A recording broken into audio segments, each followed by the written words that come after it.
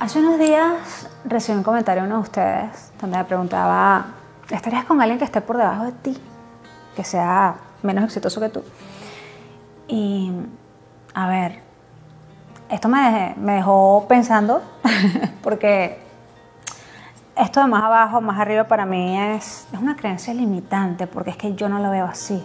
En todo caso, mi más arriba no viene de los números, porque, a ver, la mayoría de las personas exitosas en algún momento tuvieron poco. Yo misma puedo decirles que he tenido que luchar por años con garras y dientes y trabajar mucho, mucho para estar donde estoy hoy. No sé, yo pienso que podría estar descartando a una futura persona muy abundante solo por no querer comerte las verdes con él. Si me lo preguntas, mi más arriba es un hombre que está enfocado en crecer, que tenga sueños firmes, que luche cada día por ellos, que demuestre ambición, disciplina, ganas, ganas de comerse el mundo. Eso a mí me encanta, me enamora.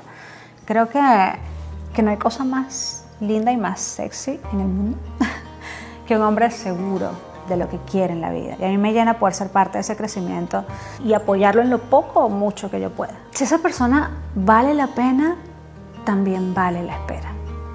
O al menos para mí. No sé qué piensas tú.